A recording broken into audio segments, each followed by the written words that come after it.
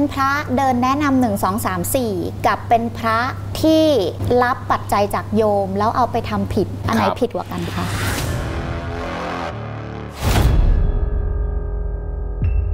เริ่มต้นก็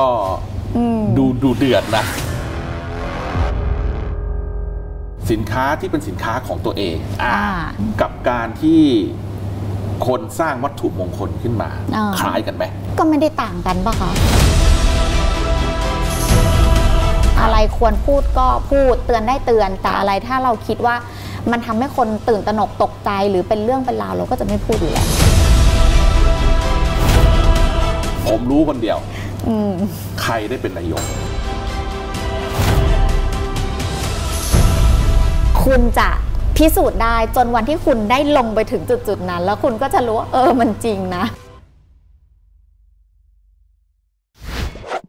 ใคร ไม่เฮงกรูเฮงเที่ยวยังไงให้เฮง